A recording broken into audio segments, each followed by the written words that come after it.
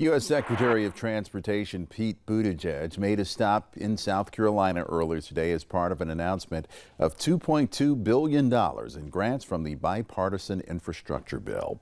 Ray Urena dives into the multi-million dollar project being funded in Orangeburg and its potential impacts on that community.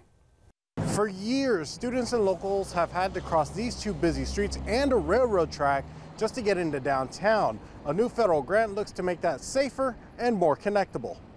Transportation Secretary Pete Buttigieg was given a personal tour of the Railroad Corner redevelopment site by Assistant Democratic leader Jim Clyburn this morning.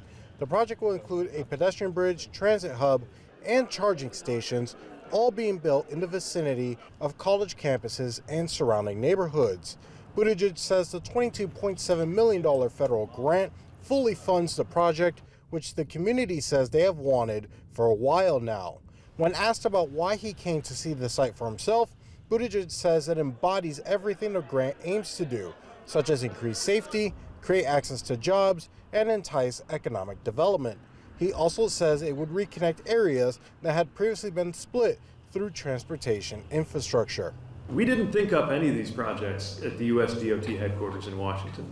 Uh, the whole idea of this is that the, the great ideas for projects aren't going to come from Washington, but more of the funding should. And so this is a great example of a vision that the community has had for some time uh, that would have been a reality but for the funding. And now we're able to bring the funding. And I think this is a great example of that. Orangeburg city officials say they hope to start construction sometime next year. In Orangeburg, Ray Urena, Live 5 News.